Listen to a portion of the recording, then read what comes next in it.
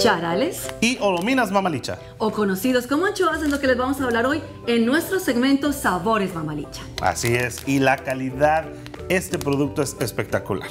Bueno, no solamente que es saludable, Manny, rico en sabor y propiedades y lo podemos cocinar en una gran variedad de platillos. Así es, en México los conocemos como los charales. La única diferencia con las olominas es que las olominas son un poquito más pequeñas, pero es la misma calidad y el mismo sabor.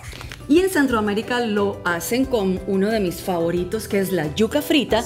Luego le ponen esto frito, como También. dijiste, y le ponen un poquito de esa salsa mamalicha que le da un sabor a nuestras comidas increíble. Riquísimo en México también, lo puede hacer con un poquito los fríen, un poquito de limón, frijolitos, una tortilla, unos tacos. Tengo un primo que los hace hasta en tamales. Bueno, yo lo he comido hasta en pizza, lo puede comer como botana, así lo pone como pancito Sí, sí, sí. y lo moja en aceite de oliva y queda delicioso con un vinito, con cualquier cosa cuando se tenga invitados o un domingo en casa. Pero Y- tú nos trajiste una Así sorpresa. es. Bueno, aparte de eso que tenemos diferentes versiones porque también la tenemos fritas y con chile. También mamalicha lo puede encontrar en su supermercado favorito.